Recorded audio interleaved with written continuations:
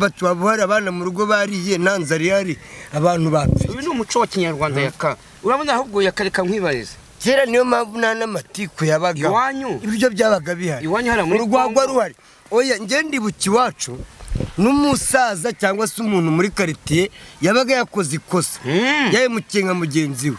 Bakamuhamagara bakamwicaza gacaca mu rusisiro tukamuca igaro ry'urwagwa wejeje ibitoki ukenga umutobe bakawutara bagashyiramo amasaka ari ya yandi avamo byanahuzaga abantu nk'uko wenda yakavuze ni ibintu byahuzaga abantu ariko muri iki gihe nta kintu kigihuza abantu. Ntacyo ntacyo rwose. Ure- ure- uretse guhurira kuri ribu gusa mugiye kubura. Ibyo ngibyo koko. reka twi O, nujya kureba mu mateka.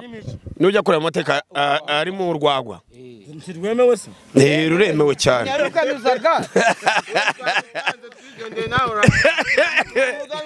Niko profe urwagwa ruremewe. Ni ukuvuga ngo hagombaga kuba hagombaga kuba hari ibyo bitaga. se bayita intango. Reka nyigire ni. Bayita intango. Eh, gutyo. Iyo ni intango. twateretse ijyanye n'umuganura iyo ntango rero sibyo? N'uriya muvumbyi N'umuvumbyi. abavumbyi ubundi bagombaga kuba ari benshi. Abavumbyi bahozeho Eh, ariko bahozeho kuva kera oya ntabwo ari ukurya cyane ni ukuvumba. Kuvumba. nuvuga ngo uzarebe na- bugingo n'ubu no mu bukwe no mu bindi birori umuvumbyi arya cyane kurusha abatumiwe ibyo wakora byose ndabirya. Ariko kuba byemewe hano ntabwo twavumbije umuntu ahubwo nawe yaje kuganura ku byo twahinze Twejeje. twejeje ariko Eh, kuba ngo nu- nujya mu bijyanye n'imihigo hari icyo bitaga gu- guhabwa umudende. Umudende. Hakabaho icyo bitaga Ita- in- eh, impotore. hakabaho icyo bitaga gucanirwa uruti. Uruti uriho urabyumva? Umudende wawuhabwaga iyo byabaga byagenze bite? Umudende? Ah, urabona gucana uruti? Mm. umudende se byate- harimo ibyiciro nzovu. harimo reka mbikubwire. Oh, reka yishima mbikubwire reka mbikubwire. reka mbikubwire.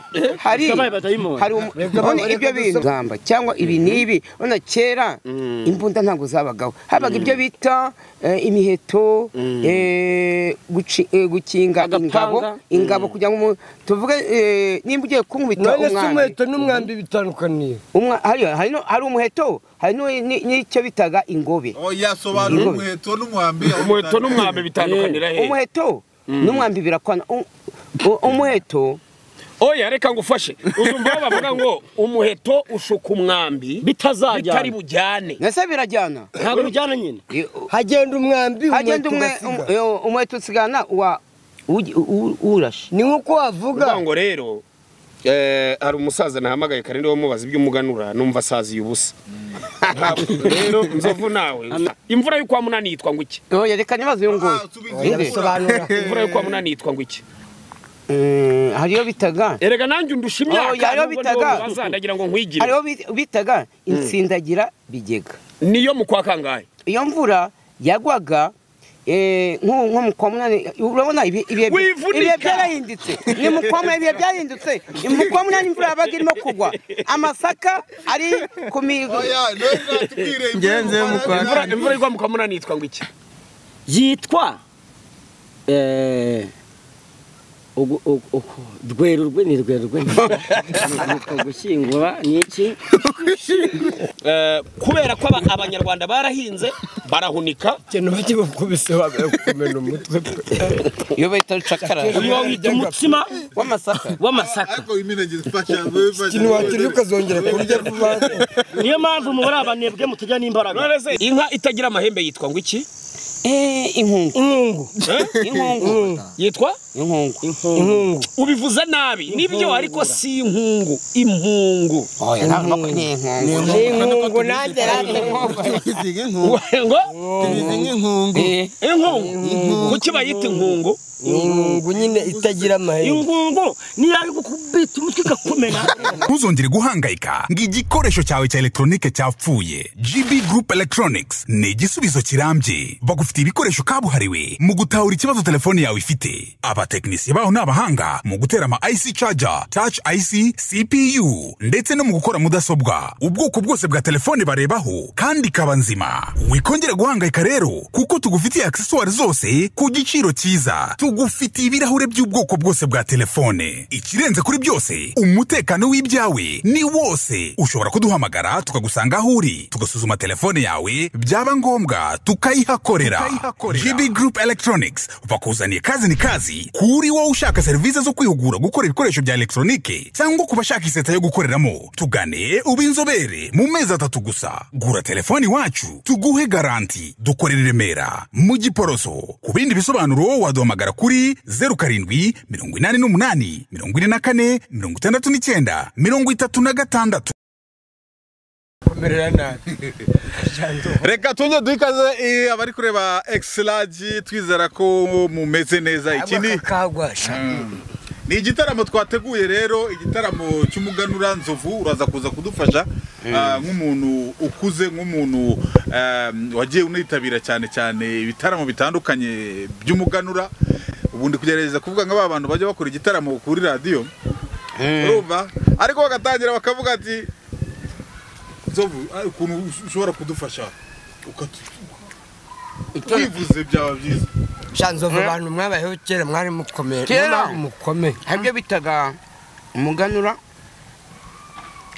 Ni uko kwereka kamwe ndimo kumuganuza. Ubu ni wowe uri kumuganuza? Mm. Eh. kuko njyewe? Mbese ubu ibi byaturutse iwawe? Ibi ngibi? Cyangwa byaturutse mu murima wawe? Ibi ngibi nabaga nahinze amasaka.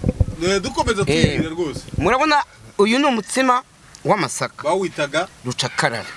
Icyo gihe rucakara eh, ari igihe ba- hari abavuga rucakarara hari abavuga rukacarara. Rukacarara. Icyo gihe wabaga rukacarara yabaga ivuye mu masaka yabaga atukuye. Ukayashyira ibyo bitaga urusyo.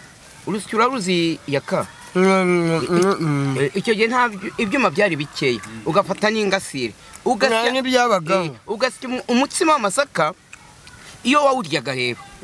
Wagiraga imbaraga wamaraga imyaka myinshi. Niyo mpamvu ibisaza bya kera bikomeye agufata rwose ntuvemo noneho Uyu mutsima byo kabisa, ibyo bintu byose byabaga twarabihinze urareba imyumbati. Imyumbati wabaga warahinze imyumbati ariko hakaba nk'inshuti yawe iyo yarumbije tuvuge nka yakakaba we umurima we akaba atareza. Ariko ngewe nzovu ntabwo ntireka mpamagare yaka muganuze ni byo bita umuga- umuganura. Icyo gihe usibye ko ubu byahindutse umuganura twawijije ku itariki ebyiri niyo mpamvu natumeneye akamwana kugira ngo dusa- dusangire ku byo nabashije kweza noneho murabona hano hari ibijumba. Nzova ariko rero umugani ukuntu ku- udusobanuriye sindi kuwumva neza sindawusobanukirwa neza. Muri make wari ugamije iki? Umuganura umuganura. Niyo mpamvu twateguye kino gikorwa kugira ngo dufashe rwose. Umuganura iyo wageraga abantu basangiraga ibyo babaga barejeje. Ni ariko ukuvuga ngo ni igihe icyo gihe baba baresheje abantu baba baresheje mu kwezi kwa munani. Ni mu kwezi kwa munani kuko buriya mwarasaruye. Eh, Mwarahunitse. eh, babaga barasaruye amasaka barayahuye bayashyize mu bigega. Ibijumba byeze imyumbati yeze bakagerageza icyo eh, kurya gihari mbese? icyo kurya gihari. Niyo mpamvu abantu ba kera bagiraga n'umutima mwiza. Eh. kuko ibiryo byabaga bihari. Naho ubu ngubu abantu ikintu bapfa ni iyi nda ni igifu. Gusa umwumbati waba uhari abana mu rugo bariye nta nzara ihari abantu bapfa uyu ni umuco wa kinyarwanda yaka urabona ahubwo yakareka nkwibariza kera niyo mpamvu nta n'amatiku yabaga. Iwanyu? ibiryo byabaga bihari. Iwanyu muri urwagwa ruhari. Oya njye ndibuka iwacu n'umusaza cyangwa se umuntu muri karitsiye yabaga yakoze ikosa. Mm. yahemukiye nka mugenzi we. Bakamuhamagara bakamwicaza nka gacaca mu rusisiro tukamuca igaro ry'urwagwa Mm. ikibazo kigakemukira aho ngaho ariko ubu ngubu ngo ni paka ugiye kumurega kuri ribu bamuzirike. Cyangwa ukajya kumusebya kuri youtube. Turabona kumutangaza. Eh, ariko kera bahamagaraga abasaza bo muri karitsiye Ubwo nabwo sindangiza. abasaza bakicara. Impamvu? eh, ba- bagacuca bakavuga ati rero niwo wakoze amakosa Aka ni akago karahiye. tumuciye amagara abiri Eh, karahiye. y'urwagwa niyo mpamvu mu muco wa kinyarwanda ikibazo kigakemukira no kuganura habaga hari n'urwagwa wabaga wejeje ibitoki ukenga umutobe bakawutara bagashyiramo amasaka ari ya yandi byanahuzaga abantu nk'uko wenda yakavuze ni ibintu byahuzaga abantu ariko muri iki gihe nta kintu kigihuza abantu. Ntacyo ntacyo rwose. Ure- ure- uretse guhurira kuri ribu gusa mugiye kubura. Ibyo ngibyo koko. Reka twirire. Umuntu wariye bino bintu aba ari umuntu kabisa. Ufite- nta mavuta arimo ngo ngo araza kubyibuhaza n'inda ovyo ovyo. Ora na kera nanone byari bikabije. Ariko agafiriti. Eh, agasambaza umuntu akarya ubugari bumeze neza n'iwacu muri kongo hari ibintu byo rwose se? Uzi impamvu ku mu- ku munsi w'umuganura? Nta umutima kabisa. Nta nyama bakoreshaga? Nta n'amasosi? Hano turimo kuganira. nuko nyine ari byo byabaga bihari ariko nawe ubundi rwose. Ariko biraryoha. Akagwa gahiye kako ngako kakagwa ariko utacunze neza kakubihindura. Yaka. Niyo mpamvu rero buriya kera ngewe ikintu niyo mpamvu. Mbwira abanyarwanda niyo mpamvu na perezida wacu ajya avuga ati umuco ntu- ntugacike. Nk'abanyarwanda mwe mugerageze murye umutsima w'amasaka mushake imyumbati mu ngo zanyu mushake imboga zitogosheje n'ibishyimbo ntibikabure ku ifunguro rya buri munsi ryanyu.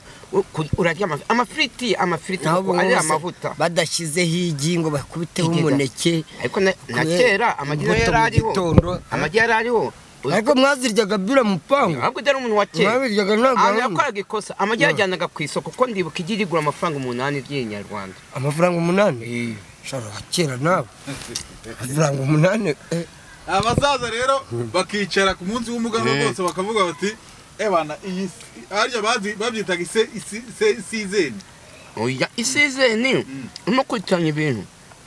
Isizeni ni igihe ikawa zeraga na zo zeraga mu- gihe cy'izuba mu kwa munani mu kwa karindwi ugasanga umusaza agurishije ikawa ageze ate? bose. nawe anyweye n'urwagwa Mm, iyo ni isizeni mm. oya njyewe ibintu mberuka iwacu ibiryo nyimi ngibi hari ukuntu twebwe iwacu umuntu yabaga ari bu- ari buhinge. Abantu bose muri karitiye uwo munsi bari buhinge. Eh, ari guhinga kujya guhinga mu murima. Bose muri karitiye bakajya kumuhingira saa sita zero zagera bakajana ijerekani y'urwagwa n'ibiryo nyibi mu murima. Ndabyibuka kera habaga- nerekeje habaga rucakara. Cyane rwose.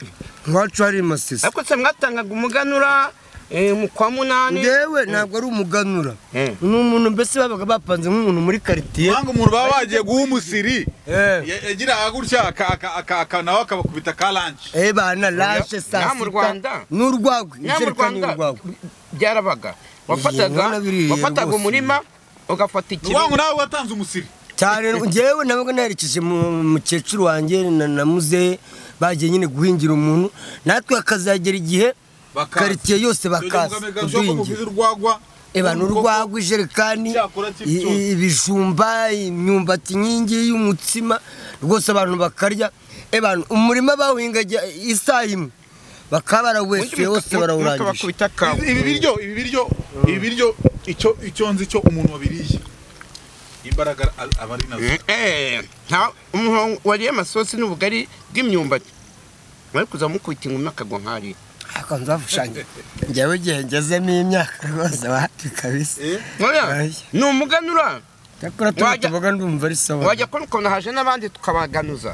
Eh, nabo bakaza bakarya abantu benshi hano bavuga barashaka kuza kurya umuganura. Nuko wenda bataraza bategereje ko baza bakagura inuze ariko akagwa ko muri kukamanura akagwa karahiye. Aka kagwa nako ni umuganura ubu twaganuye twejeje ibitoki. Ubu ni ukuvuga ngo ni nk'akarikeri ka kinyarwanda. Ni nka rikeri ibyuma by'iki gihe Eh, iyi ni inzoga ni y'urwagwa ni gakondo urumva ukuntu nzovu avuze ngo urwagwa ni urwagwa ni icyuma wanga uyu ndavuze ni urabona ntese urwagwa usibye ko urunguru twa twifata ibitoki byacu tuka- tukarwiyongera nk'uko twafashe amasaka yacu twahinze nzovu ya kutarya kamwana icyo kijumba ngiye ku kijumba rwose ku mwumbati wenda ho sawa ariko ku kijumba oya parika rucakara yirya na yo irangiza oya rucakara. Naze ko nakuganuje rucakara rwose nawe uyirire pe wa cyo kandi nakuganuje ubu ni ukuvuga ngo ubundi umwumba turawufata ukawusomeza urwagwa Eh, rero twebwe iwacu rero. Ibyo na byo babyitaga guha abakurambere. Aba ari umenetse ngo ni urw'abakurambere uhaye sogokuru wawe. Niko babyitaga kera. Ariko njyewe buriya wabaga urwagwa rugu- ubikoze ubishaka. Apana rugucitse. Ntiru- rwabaga rugucitse. Ntabwo ari uvuga ngo wararufata ngo ukarimena ngo uri guha abakurambere. Eh, aba ari impanuka ruba rugucitse ni impanuka basi nta kundi. abakurambere. Nabo is- is- ariko njyewe iwacu hari imasisi akenshi twebwe ibiryo nk'ibi no mu rugo ntabwo twakunda gukoresha urwagwa. Keretse nk'aho nko mu murima ariko ubundi mu rugo mu rugo. Tu- twabaga dufite amata. Iwacu haba inka nyinshi cyane. Twabaga dufite inshyushyu ikivuguto amata ateretse ku ruhimbi. Niko iwacu rwose. n'ikijumba ni- ikijumba rwose. Nabaga mfite eba n'inshyushyu kabisa cyangwa se ngafite ikivuguto. Iwacu amata yahoraga ateretse. Do. Ubu ngubu. Baca umugani ngo? Akira mm. ubu ngubu. Baca umugani ngo ubu. Ngubu. Biranakuniga ugasomera amaso uzahorane amata ku ruhimbi. Ese uruhimbi ni uruti inzovu uruhimbi? Uruhimbi ahubwo njyewe numva ko ari nk'ahantu. Nta nubwo uruzi? Uruhimbi ntabwo biramukomesha ari ahantu mu badivantiste basengeraga ni ho bahitaga ku ruhimbi ariko njyewe numva mu kinyarwanda. Iyo bavuze ngo uzahorane amata ku ruhimbi. Uba wifurije umwana wawe ngo ntazabure amata ntazabure uruhimbi ari n'abaterekaga ngo ni amata. umwana ngo ntakabure amata ngo iki ariko na byo. Ngwino uganure bwana ngwino uganure ngwino uganure cyakora kiraryoshye cyane ku gatima k'amasaka karya umwana. ubusabane. Uradufashe nk'akawa mu kinyarwanda. Hari ikinyarwanda nk'akagwa rwose waba ufite ikinyarwanda umwumbati ntabwo uzi uruhimbi. Uri guhitamo cyane Nakakira umuganura umwumbati. ntabwo urufata icyo ufashe nta nawe kurya nka bubu ngubu kweri fata no ku tuboga no ku dushyimbo no ku nawe bishyimbo nkuganuze sekiri umutsima mfate hose. Eh, no umutsima ku gatsima rwose. Uno- uyu ni umutsima wa Kinyarwa- wa kinyarwanda. Ariko ze nzovu Mm. nta kuntu wabaga waha umuntu Mm. akajya kwitekera iwe. Atari ngombwa Eh, nanjye ikintu nakiba niba okay, umva nzovu niba yaka yararumbije yararumbije sibyo wowe ukeza yego ugasarura. Ibi byabagaho ko ushobora gufata amasaka ugafata eh, imyumbati reka- mbibasobanurire ibi ngibi ibi byo guhurira ahantu hamwe ba- bagasangira babikoraga ku gihe cy'umuganda. Ariko hari igihe wabonaga nk'urugo rwa yaka ru- rwararurumbije ukamudahira amasaka mu kebo ukamushyira ariko utwo tuboga wadukundisha tutubaga n'isawa rwose noneho Mhm. nimba njye mfite umugende w'ibijumba. Nejeje nabwiraga umwana wa muturanyi wanjye zana agatebo utuntu tw'udutebo. Akaza nkajya kumukurira ibijumba nkamukubita mu ga- mu- mu gatebo akajya guteka nkamudahira n'ibishyimbo. Nimba mfite umutiba umutiba niwo bahunikagamo ibishyimbo. Umutiba wajyagamo nibura imifuka nk'itatu ya ka. Eh, eh. Umutiba se sinumve ngo umutiba ari uw'inzuki. Oya hari umutiba w'inzuki? Hari n'umutiba ba- bamenagamo ibishyimbo. Bamenagamo? Eh, Eh, ba- wamaraga guhura ibishyimbo. Ukabigosora. Bahunikagamo ibishyimbo. Bahunikagamo babimenagamo hano. Urabona muri iki gihe basigaye babishyira mu mifuka. Intimbiri biterwa biterwa. Intimbiri ariko nawe urayizi. Inye intimbiri intimbiri Mm. ndumva ari nk'ikigage babaga bakizeye kimaze gushya. Kuvuga ngo ngewe rero intimbiri ni ikintu kiba kiboshye mu duti kizamuye ari kirekire. Iyi twebwe tukita intuza. Kumva noneho hasi bakaba baragiye bashyiraho n'amase amase ariya nyine bayasiga. Bayasigaho. Noneho bangiza bakagitereka ahantu bakajya baraza bamenamo ibishyimbo Eh, bamenamo cyangwa ibishyimbo. amasaka. Ariko biterwa Eh, biterwa n'agace umuntu akomokamo. Ngewe kuko nkomoka mu nduga ntabwo ariko uturuka amajyaruguru eh, ntabwo bavuga kimwe bavuga ngo wenda. Ba- buri wese aho- mwabyitaga imitiba. Umutiba Umu- umutiba Mm. umutiba w'ibishyimbo. Umutiba niwo- nk'uko abikubwiye koko bakwitagaho amase inyuma babibohaga mu bintu by'imbingo. N'imbingo eh, bakagenda basobanya gutya bakagitera amase inyuma none se nzovu ubwo ngubwo ni ukuvuga ngo ukagira gutya ugahita umudahira nk'i- nk'i- nk'ibiro bingahe by'ibishyimbo? Eh, kera habagaho ibyibo. Nta minzani yabagaho iminzani habagaho iminzani bita mirongo ingemeri ni ingemeri mironko za mironko mironko Eh. icyo gihe cya- cyacu mironko zari ziriho. Mironko zo ba- ba- ba- ba- bakoreshaga bapima ibishyimbo Si zo mu ngemeri ingemeri. Abazita ingemeri. Eh, biterwa n'agace nk'uko agace umuntu abamo ariko twebwe twazitaga mironko. N'amajeri icyo gihe amajeri ni iki? Ni mashaza amashaza. Hari abayita amajeri. hari abayita amajeri twebwe iwacu mu nduga twahitaga amashaza n'ubus- n'ubusanzwe. Akago kakanyinyira pole pole ariko urwagwa rwo ntabwo rwahinduraga izina. Urwagwa. Urwagwa n'ubundi rwitwaga uyu amarwa ni amarwa ni umusururu amarwa na yo bakoraga mu masaka ayaturiyemo n'ubundi twebwe umutsima imasisi twakundaga kurwita gasigisi. Gasi? Gasigisi ariko bumva ni izina rituruka ku giswahili kuko urabona twebwe mu kinyarwanda cyacu cyari imasisi akenshi kiba kivanze n'igiswahili. Muganira. Ntabwo bitangira kurimita abantu nzovu turye tuganira dutera sitori urumva rata twebwe ni ukuvuga urwagwa hari iwacu imasisi urumva ikinyarwanda cyacu cyari imasisi akenshi kiba kivanze n'igiswahili. Kasigisi kasigisi none ukumva umuntu avana n'inyarwanda ngo ngo ni gasigisi Gasi- kandi barahita kasigisi n'urwagwa gatandatu sigisi ya gatandatu se icyongereza. Ntabwo ari sigisi ya gatandatu. Ivuga nde koko gasigisi ari kanyanga.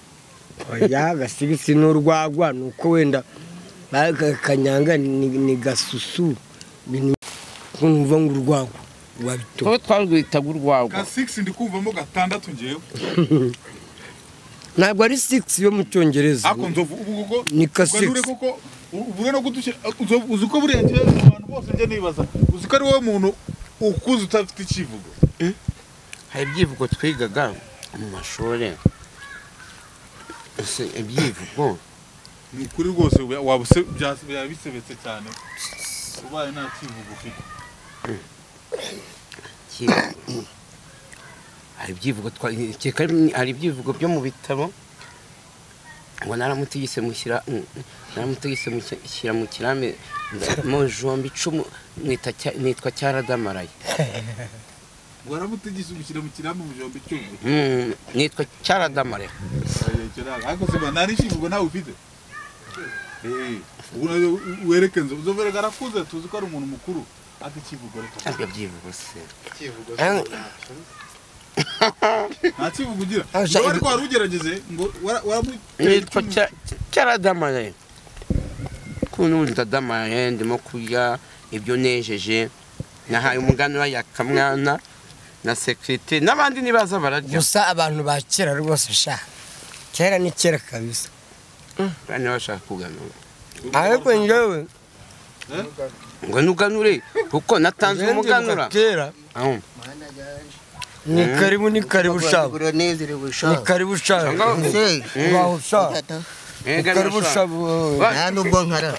Amahoro N'abanya- se n'abanyamahanga turabaganura Eh? Ni amahoro mu nka murakomeye. Ndakuganuje umuganura uruzi se? Agira y'ibifunguro sha ta- tamira tamira wa- tamira shaba baherukaga nko kurya kera mu rugo. Eh, noneho ndako- ntabwo wigeze weza se? Umuganura urawuzi wambaye karahiye ariko yakamwana muganuze no kurwagwa Mm. sangire rwose. Uyu ni umuganura? Niganurire hano. Ibintu mberuka ngituruka iwacu mu ntara none dagasikinyeri rucakara wayi- wayibonye rucakara cyane. Cyo bita umuganura wari ukizi Mm. umuganura. Umuganura wari uzi icyo ari cyo. Ndabaganuza ku muganura nta muntu nta mu- nta- nta- nta uca undi ariko akaguriye akabanza kamugeze muri roho. Kera ubuzima bwanjye na yo ngakumbuye. Uwo mutima se urawuzi iwanyu muwita gute? Rucaka rucakara rucakara Eh, bazararwaye avuye kwa muganga. Yakamuganuze ko urwagwa yumva ukuntu rumeze. Abantu bajyaga bibaza impamvu ndirimba ntibagira ngo sura urwagwa. Mwangane umwana akagwa nishimye karahiye cyitondere burya umubwire rero wa mugabo we. U- u- urukura mu icupa rukagukura mu bagabo uru rwagwa uri gu- uri gusoma. Urukura mu icupa rukagukura mu bagabo kereka njyewe ndirimba nta kivugo ugira ntacyo. Turirimbira akarimbo ka kera. Kakera k'imana se cyangwa ki ako ushaka n'ubundi kajyanaga n'ibintu by'umuganura. Ubundi umuganura uzi ko ari ikintu umuganura usobanuye iki mu muco nyarwanda? Umuganura usobanuye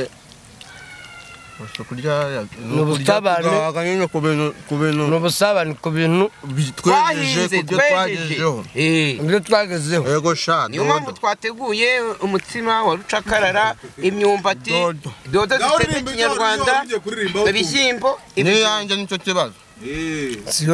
urabizi ko ari ikibazo kuri iyo yawe ubwo numva n'iyanjye ubwo nyiri ntacyo yiririmbe iyo yawe okay Sha, yakama urumva indirimbo yitwa saka ninja. Sakanye Eh. kumva vuba ibyo ukabwira kakanoza umushinga ntikagera umushiha. Gatwara igare karanyonga ku buryo nahaterera wikanga kamanuka. Bakita nyiri ibitendo ni cyo njyewe ngakundira kankorera ubufindo uyiziye Ah, nta muntu n'umwe wabizi. Nshimira na producer yewe wayinkoreye ku buntu. Yitwa yewe? Yewe. Yayinkoreye ku buntu agwa neza. wongera ukaririmbe ushatse wumve numvishe ko arimo neza. Avuga ngo bebi ndagukunda n'ikimenyimenyi fata byose byanjye. Kuko nkorera pati no ku kivu n'ujya unsiga turajyana.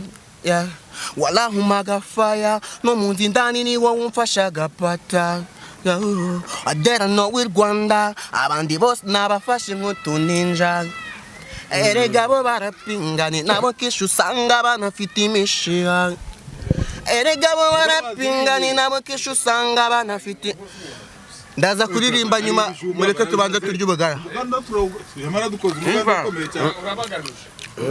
Ni inzovu uganuje hano reka mbwire tuganuje. Igisiraje uyu ni imenagitero imenagitero turashaka kutubwira? umuganura ni iki unatuwe ni ikivu Uzi ko kugiye- cy'umwami gihanga hanze u rwanda n'umuganura wabagaho. Nzi ko gihanga hanze u rwanda. Uriya nawe mu muganura atangiye kutuzanira za ndirimbo z'abana b'ubu. Manebo ntiwanjye wagenda kinyarwanda ndimo kubaganuza. Ariko musanze bi- ndashaka ikinyarwanda tubimaze kijyanye n'ubuvuzi ni cyo naburaga. Nizere ko atari bya- bindi. Ntabwo bya bindi.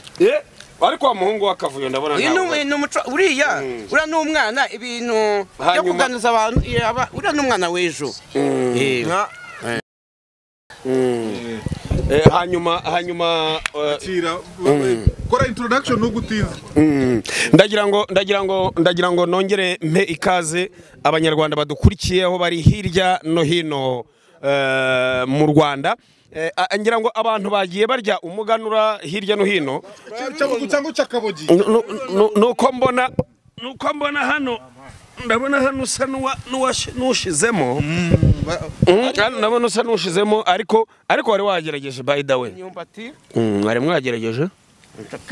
Ibijumba. Ibi ni Ni ndashaka kumva ikinyarwanda ajyanye n'umuganura imenagitero niyo mpamvu guhaye mikrofone. Mm. bavuga bati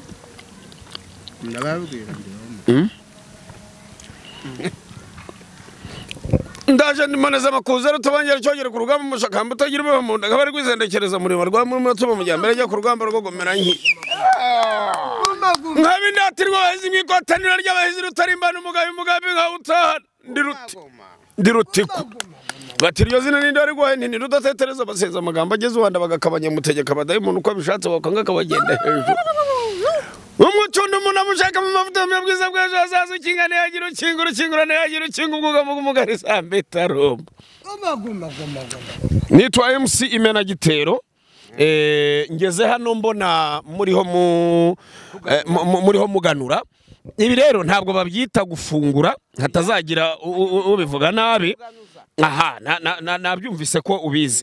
Ntabwo babyita gufungura ntibabyita kurya ntibabyita no kuzimanirwa cyangwa kuzimanwa babyita kuganuzwa. Eh, ni ukuvuga ngo n'uwo- baba bahereje. Eh, ni ukuvuga ngo uwo batumiye aha ni ukuvuga ngo ubu njyewe ndi kuganura ku muganura waganuje.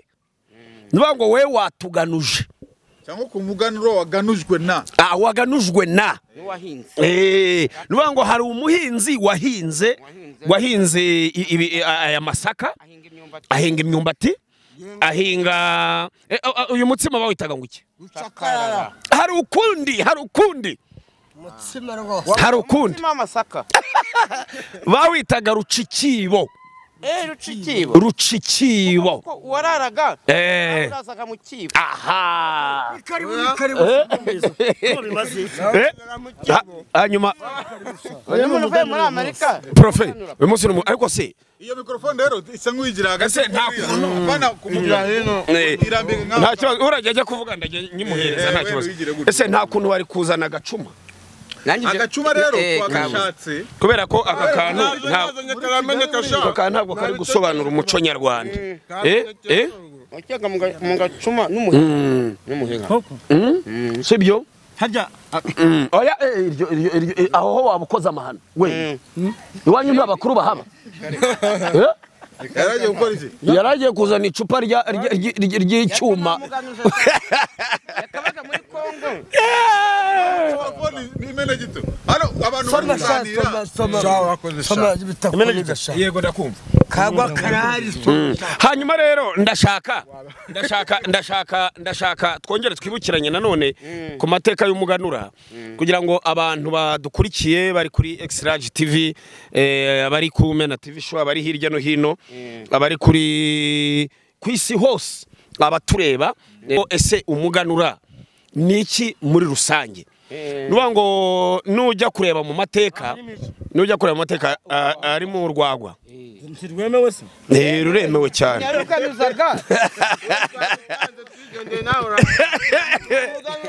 Niko profe urwagwa ruremewe ni ukuvuga ngo hagombaga kuba hagombaga kuba hari ibyo bitaga. Intango. Reka nyigire ni. Bayita intango. Eh, gutyo. Iyo ni intango twateretse ijyanye n'umuganura iyo ntango rero Eh. iyi ntango ndagira ngo nsobanure ibyayo nubwo nta bikoresho bihagije wenda bihari byayo iyi ntango niyo bitaga akanywabahizi. Iyi ngiyi kanywa bahise Eh, cyane. Eh, hano urabizi. Abantu banywana. Eh, ngo kukita akanywabahizi nuvuga ngo we warabaga wa- wahize wahize. Wahize. Sibyo nzovu. Eh, na yakamwana yahize umuhigo. Mwasezeranye. Sibyo? N'uriya muvumbyi umu- a- N'umuvumbyi. haba- habagamo aba- aba- abavumbyi ubundi bagombaga kuba ari benshi. Bakara abavumbi bahozeho. Eh, Ariko abavumbyi- cyane bahozeho oya ntabwo ari ukurya cyane ni ukuvumba. Uzarebe na- bugingo n'ubu no mu bukwe no mu bindi birori. Umuvumbyi arya cyane kurusha abatumiwe ibyo wakora byose ndabirya. Ariko kuba byemewe hano ntabwo twavumbije umuntu ahubwo nawe yaje kuganura ku byo twahinze twejeje. Ariko kubera ko ni ukuvuga ngo umwami umwami yaganuzaga abatware. Yamara kuganuza abatware abatware nabo bakaganuza abakuru b'imiryango. Abakuru b'imiryango nabo bakaganura mu miryango yabo. uri kurabyumva? Oya oya. ntabwo tuba- murimo kwiga turi mu- ku muganura. Eh, eh. yatangiye no kujya aririmba we uturirimbo twumvikane tw'abana. ntabwo bavuga ibintu turimo kuganura ku byo twagiye ibyo twahinze ntabwo narimbi ariyo bavuga kwijuta twagenda ukareka tukavuga ikinyarwanda ntabwo Kinyarwanda. ni ngo niba wamaze kwijuta yakamwana urabona arijuse mu ijosi biriya bintu yambaye mu ni ibyo bintu ntabwo ubundi bambaraga inigi kujya gute. Ni ukuvuga ngo wagombaga kuba ufite ibintu bigaragaza ko hari icyo wakoze. Yego. Eh. ngo nu- nu- nujya mu bijyanye n'imihigo hari icyo bitaga gu- guhabwa umudende. Umudende hakabaho icyo bitaga eh, impotore hakabaho icyo bitaga gucanirwa uruti. Uruti uri urabyumva umudende wawuhabwaga iyo byabaga byagenze bite? Umudende? Ah, urabona gucana uruti? Umudende se byate harimo ibyiciro bingahe harimo reka mbikubwire. Reka mbikubwire reka mbikubwire. Reka mbikubwire. Hari hari ibyo bintu. navuze yuko umuganura umuganura. Aratuwika urumva? Gucana uruti cyangwa ibiki byo byose hari umuntu wahabwaga umudayi bitewe n'abantu yabaga yamaze kwica ku rugamba. Cyangwa ibi n'ibi. Urabona kera imbunda ntabwo zabagaho. Habaga ibyo bita eh, imiheto eh, guci- eh, gukinga ingabo. Ingabo kugira ngo tuvuge eh, nimba ugiye kunkubita none se umwambi umuheto n'umwambi bitandukaniye? Umwa- hari umuheto hari n'icyo bitaga ingobe. Oya sobanura umuheto n'umwambi. Umuheto n'umwambi bitandukanira he umuheto n'umwambi birakwana. Umuheto oya reka ngufashe. Uzumva bavuga ngo umuheto ushuka umwambi bitazajyana. bitari bujyane. Nase birajyana. Ntabwo bijyana nyine. Hagenda umwambi hagenda umuheto um- umuheto usigana wa urashe. Ni nk'uko wavuga. Ngo rero hari umusaza nahamagaye kare ndiwe mubaza iby'umuganura numva asaziye ubusa. Rero nzovu nawe. Njye nuvuga ngo nsaziye ubusa. Ibyo nasobanuye ntabwo usaziye ubusa. Ntabyo yasobanuye ahubwo ntabwo asaziye ame- akura ubusa ubusa nk'igihaza. Akuriye ubusa nk'igihaza. Nk'igihaza. Oya, nanone. Eh, nanone ntihazemo wowe hari amakuru ufite ku muganura? Umuganura. Eh, njye nayafite Eh, uri usobanura. kumva neza? Umuganura uri mu bice bitatu. Sibyo? Mu muganura harimo. Reba mikorofone ngiyi. Mu muganura harimo. Udusimba twari tumeze neza. abantu bagahura bagahura. Bakazana ibyo bejeje. Umusaruro. Umusaruro. Umusaruro ni kimwe? Yego. Kabiri? Kabiri. Mu muganura harimo ikintu cyitwa iki? Kutikunda. Oya. Harimo urukundo. Harimo harimo kwanga ubunebwe. Nyine ni byo mvuga. Harimo urukundo gushishikariza abantu gukora. gukunda umurimo. Gukora kugira ngo gukunda nawe umurimo. uzaganuze abandi gatatu. Gatatu mu muganura harimo ikintu cyitwa iki? Gukunda igihugu. Gukunda igihugu. Ni indangagaciro eshatu zatumaga habaho umuganura. Urumva ko ikintu cya mbere cyatumaga habaho umuganura. Urumva nzovu ikintu cya mbere cyatumaga habaho umuganura. Icya mbere kwabaga ari ukwishimira umusaruro.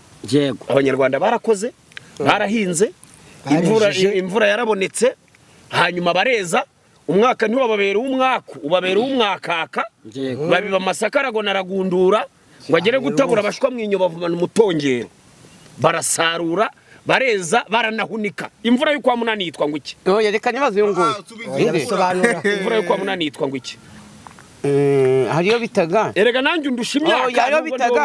ndagira ngo nkwigire. Hariyo bi- bitaga insindagira bigega. Niyo mu kwa kangahe? Iyo mvura yagwaga eh, nko mu kwa munani urabona ibi- ibihe byarahindutse. Ni mu kwa munani ibihe byarahindutse. Mu kwa munani imvura yabaga irimo kugwa. Amasaka ari ku mi oya none natubwire Ngenze mu kwa- imvura imvura igwa mu kwa munani yitwa ngo iki? Yitwa eh, ugu- ugu- rwerurwe ni rwerurwe ni gushyingura ni iki ni umuhindo ndi mu kiganiro hano kurara. Insindagira bigega. Itsindagira bigega. Eh, ndi kurara. Babaga barimo kwa- kwanura kwanura ibyo abantu banuraga imyaka se eh, bak- insindagira bigega bagahita bayi- bayishyiramo bya bindi bitaga imitiba wigiza mikorofone hejuru gutya gato. Eh, Eh, bakayanika kuko biba biri ku gasozi. kugira ngo itanyagirwa. Noye Ni ukuvuga ngo- noye umuhindo ni uwuhe ndagira ngo ndagira ngo mbanze. Mbanze mubwire imvura yo kwa munani kuko ntabwo ari byiza guheza urujijo mu banyarwanda. Yego. Imvura yo kwa munani niyo mvura kubera ko ubundi eh, bavugaga ko kubera ko aba- abanyarwanda barahinze barahunika. Ikintu bakibukubise kumena umutwe. Iyo bita rucakara. Uyu wita umutsima w'amasaka. w'amasaka. Ikintu wakirya ukazongera kurya vuba. Niyo mpamvu mubari abanebwe mutajya n'imbaraga. Ntabwo abahanga bo kurya bahera kuri none se kutazanye oya kutazanye kujya urutamyi hepfo iriya ni Eh, uguhamagara wakataga uyu mutsima. Nyine ndashaka urutamyi ko mutaruzanye. Ntabwo byari ngombwa niyo mwari gufata urudodo rusanzwe. Bakajya bak- ruriya rudodo rusanzwe rw'umufuka? Rw'umufuka cyangwa reba urudodo Eh. rufungura umuceri. Rumwe banyuza rufungura umuceri. ukanyuzamo imvura yo mu kwa munani habagaho imvura yitwaga imbungiramirara. Imbungiramirara. Eh, imbungiramirara. Mwiga. Rurayumva ni imvura yo mu kwa munani. Oya ntabwo ariyo mu kwa munani. imvura- yitwaga imbu turashaka iyo mu kwa munani ariko? Ubwo nagira ngo ngere kuri icyo cy'umuhindo wambwiye ariko reka nkubwire iyo kwa munani. Iyo kwa munani niyo yitwaga insindagirabigega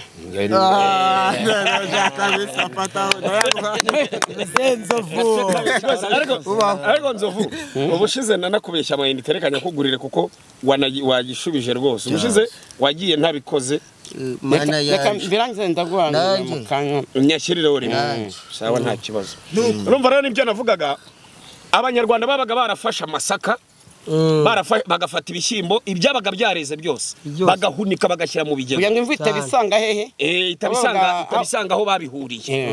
Eh, kaza itsindagira Eh, ibigega iyo mvura rero bakayita insindagirabigega kuko n'imvura yagwaga nyuma yo kubona umusaruro w'abanyarwanda.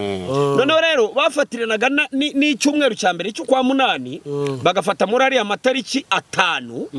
Urimo urabyumva abanyarwanda rero kuko bari abahanga bo bahita bavuga ngo ni kuwa gatanu uwa mbere w'ukwa munani. Wa kanama. Wa Kanama. Eh. ubundi byabaga ku uba itariki ya mbere. Ya mbere. Ariko babishyira ku itariki ebyiri. Bo abanyarwanda bo bafataga icyumweru cya mbere cyo kwa munani babyizihizaga hafi icyumweru cyose. Kuva ku wa mbere kugeza ku wa gatanu. Uwa ga- uwa gatanu wa mbere uwa gatanu wa mbere w'ukwa munani w'ukwa munani Ah, ndasobanura Eh. nzovu ibyo byamunaniye kubitubwira Oh, ya. yari ari kwibaza ngo kubera iki Byabaga ku itariki ya mbere. Urumva bakavuga rero ngo ni kanama kanamiye nzeri Nzeri, Kanama. babaga bitegura Nzeri ni ko ukwa cyenda. nzeri hazagwa ya mvura nyinshi itegurira abahinzi kongera kugira gute guhinga Guhinga. kuko ibyo babaga bejeje muri icyo gihembwe babaga bamaze kubisangira bigaherekezwa n'insindagira Bigega. umuhindo rero wazaga muri cya gihe cya ya mvura bitaga urabona ukwezi kwa gatatu impamvu bakwise werurwe. Werurwe. Abanyarwanda abanyarwanda bariho ba- werurwe ntabwo ari rwe Eh, werurwe. Eh, werurwe. kwa gatatu. Abanyarwanda bari bariho baganira noneho bari kumwe ari nk'itsinda urwo rwagwamo utaza kurusita rumuhereze rumuhereze. Zato nanjye nsukemo nkomeze nganuze urwagwa. Urimo urabyumva? Noneho bariho baganira abanyarwanda. Umwe abwira undi ati ariko iyi mvura yo kuwa gatatu kuki itagwa? Ngo itobore igwe birangire Eh? ndakugaruza. Eh, kuki iterura ngo igwe? Umutsi mu cyuri wawe Wu- wumvise ahantu werurwe byaturutse? Yego rata werurwe reka Eh, Eh, bizi n'ubundi yari werurugwe Ni noneho umunyarwanda ahita avuga ngo ni werurugwe werurwe ukwezi kwa gatatu guhinduka werurwe gutyo ariko ubundi yari werure Okay. Werurwe. Noah, tubwira ukwezi kwa gatandatu mu kinyarwanda. Eh, ukwezi kwa gatandatu wakwita gute nowe twihutisha kuko ngo ikirere kiri kudusiga. Batwita cyagiye mutarama. Kwa mbere ukwezi kwa gatandatu kwitwa? Ngo mutarama kandi muragenda- muragendana cyane muragenda jewe bakwita june. Kamena. July. Twitwa kamena. Kamena kakoraga iki kamena se urumva kamenaguraga abadayimoni niko wowe tubwira ukwezi kwa cumi kwezi kwa cumi Nu- wa muvumbyi nawe ni ukurya gusa. Ninda nini? nyakanga. Muhe n'uyu muce nari nzi ko ari n'uyu mutsima. Ukwakira Kwa- nari nzi ko ari ukwakira ariko nari nashoboye ukwa mbere niko nari nafashe akarimba baririmbaga cyane Ariko ukwakira arakarimba bajyaga baririmba. Dore rero kugira ngo ubishobore dore kugira ngo ubishobore nzovu. Ugushyinguko dore kugira ngo ubishobore ushatse ashobora kubaza ugahita ukaririmba mu mutwe nyine. Mutamagashyantare werurwe mata gicurasi kamena nyakanga kanama nzeri ukwakira zarashize ukuboza Ni ukuboza. kwa n'abiri uraza ukanyigisha kubaza ni ukwa kangahe kwa cyenda kwa cumi n'abiri so twagereje ukwa cumi n'abiri Ega asomye ko kana atarasanzwe asoma ukuboza n'undi basizemo ibiki asomye ku kagwa rero aka ni akaya ka mwana ntabwo we wari usanzwe umenyereye aka kantu njye nabaga musiteri wanywaga amusiteri nowe ni umuhanuzi uri umuhanuzi w'imana koko. Njyewe ndashima imana. Nta mahoro ndishimiye ko uyu munsi wa none imana yaduhaye kabisa. Buri ni we munyarwanda wibohoye. Abandi barabeshya bugadura umuhanuzi tumeze neza. Mubaze amezi. Ehe agira iminsi mirongo itatu n'umwe. Eh, ni ayahe ayahe Eh, amezi agera- zisubiza rero mbere y'uko mbikubwira kuko ibyo ni ibintu byoroshye ubibarira hano. Reba. Eh, eh. rimwe kabiri Kabiri, gatatu kane, gatanu gatandatu karindwi umunani. n'umunani. Ukwa kane n'ukwa munani kugira iminsi mirongo itatu na rimwe. Eh. akira n'umunani se? bigira iminsi mirongo itatu. oya mvuze. We we amezi. nuko ari yabaze nuko ari yabaze n'ukwa mbere kugira ugenda ubarira hano ugenda ubarira ukwa kabiri kukagira iminsi makumyabiri n'icyenda Kubera na makumyabiri n'umunani. Ukwa gatatu bakawita ngo iki usibye ko umwaka biterwa. ahubwo bavuga iti eh, ahubwo iminsi magana atatu n'inga cyangwa magana atatu mirongo itatu biterwa. N'uko abantu bigenda bihinduka no kuko ni makumyabiri n'umunani makumyabiri n'icyenda La terre Eh, tourne on est autour quatre du fois soleil Biryanga. pendant 365 jours. Nanjye nakize muri géographie. eh wakize La géographie est une science qui étudie la terre et ses phénomènes.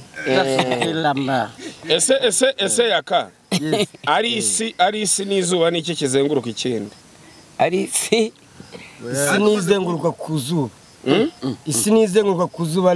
Tourne autour Oh, du isi nizenguruka ku izuba niryo rizenguruka ku isi.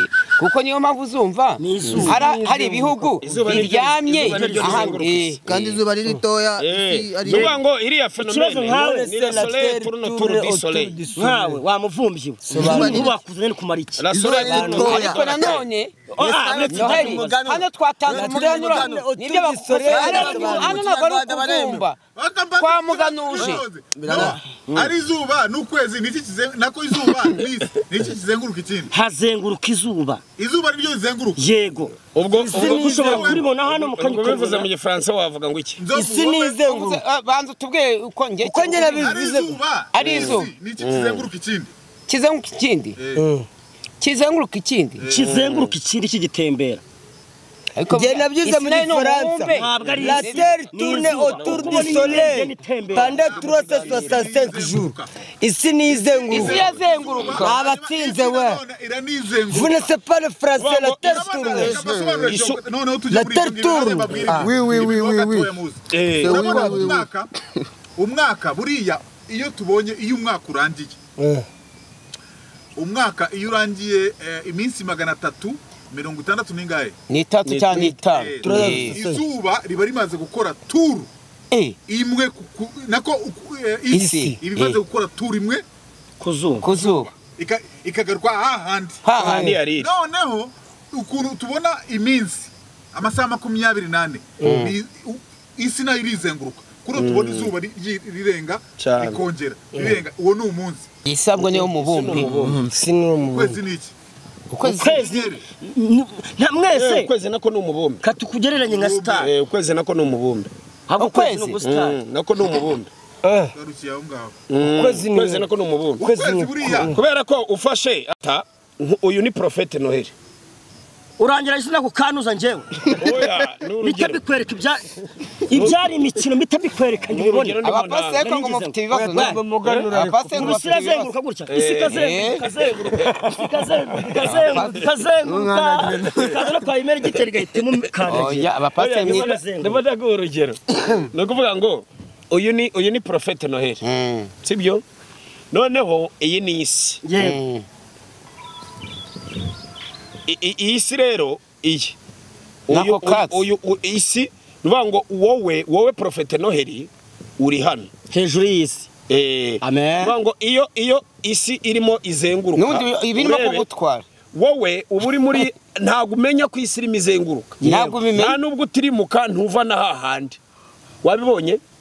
Wabibonye? Uri kuzenguruka se nako kari mwese ko cy'umuntu apfa. Oya ko ntabwo kaze n'ibisize umuntu azenguruka ku isi. Ntabwo kigeze kuki umuntu apfa. Handi n'agakiza ntabwo kigeze kahava umuntu apfa uba wizengurutse Ubu- ubu yizengurutse oya ni ukuvuga ngo ni tugiye mu bijyanye n'ubumenyamuntu bavuga ko iyo umuntu apfuye iyo umuntu apfuye. Turi mu muganura turageze nta n'ijoro rwose turi Eh, ni ukuvuga kwitegurira ngo iyo umuntu ap- apfuye aba agiye aba agiye avukira ahandi. Azukira ahandi. Azazukira handi ubu ni ukuvuga ngo ni ukuvuga ngo wowe yaka. Mm. ushobora kuba warapfiriye nko muri senegal. Yajya kuzuka? ukazukira hano? Hano mu Rwanda. Eh, Eh, mana nipfa nzapfire mu gihugu gikaze. Urumva? Muri amerika nk'ubu Eh, Amerika. Eh. nanjye nkazazukira wenda za Canada. Oya warazutse byararangiye warazutse byararangiye ahubwo wenda niwongera gupfa. Ushobora kuzazukira ahandi. Kubera ko isi yawe nipfa nzazukira ryawe. ryawe. yazukira hano Eh, ibyo bintu uri kuvuga? Oya, da. byatuma bamwe na bamwe bihutisha urupfu kugira ngo barebe ahantu bavukira Eh, yarapfuye inyama gito kuki bavuga ngo nanone nimba Eh. upfuye nimba upfuye bakanga ngo nanone nujya kuzuka. arwaye ubushita arwaye bushita umwana. Reka nkubaze. Nibaza akantu ni imibu warwaye bushita uri kwishimagura ibiki? eh, ikibazo nanjye kubaza. Nigeze kucyumva ahantu baravuga ngo nimba umuntu apfuye. Akazazuka. Ashobora no kuzazukira mu gisimba ibyo ni byo Mhm. ushobora no kuzukira Mu ipusi. Ukaba wabaye ihene. Ihene. Cyangwa ingurube. Eh, ibyo bibaho cyakora yavuka bibaye ingurube. Uyu ngewe. Uyu nguyu. Nahita mba ingurube ingurube. wazamujya nk'akabenzi ndamutse nzutse ngasanga nibere nk'agapusi. Wabibwirwa n'iki? Hanyuma rero hanyuma rero ndabona ndabona n'amasaha wenda eh, amataha y'inka ageze. avu- avutse ari ihene. Bakuryamo burusheti hano kwa Ah, ariko ndovuka nkubaze nk'aho umusazi ikinyarwanda. Reka mbaze ikiba- Ngo icya- gukama gukama. Iyo umaze gukama eh, babyita ngo iki mu kinyarwanda. Kwinikiza guhumuza we. Hanyuma ndabona ndabona n'amataha y'inka oya reka nibaze noheri. Eh, ni- nabyo- ngiye kukubaza. turi mu kibazo cy'umuganura. Yego. Buriya umuganura watangiye ku gihe cy'umwami bitaga gihanga wahanze u rwanda. Niho umuganura watangiriye. Gihanga gihanga wahanze u ngoma rwanda. Ijana gihanga ngoma Eh, ni ho umuganura watangiriye. Umuganura hanyuma waje guhagarara ryari? Umuganura wahagaze ryari? Aho uransinze ntabyo nzi. Wagaruwe ryari? ndagira ngo tuganire. Ah, mureke tunasakuze mu bya kinyarwanda. kuko ibintu ngiye Eh. ngi- ibintu ngiye Reka kureba. tunasakuze oya ibintu ngiye kubabaza ni ibijyanye n'umuganura n'ubundi. Eh.